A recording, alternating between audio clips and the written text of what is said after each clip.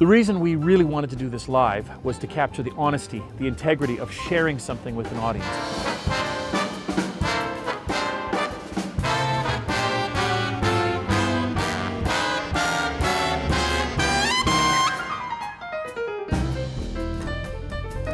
As an instrumentalist who can't rely on words to get a message across, the one thing that's most important is melody, a tune that you can follow. And the way we dress it up with the kinds of grooves that we add to it, that's what will give it a certain uh, uh, unique character.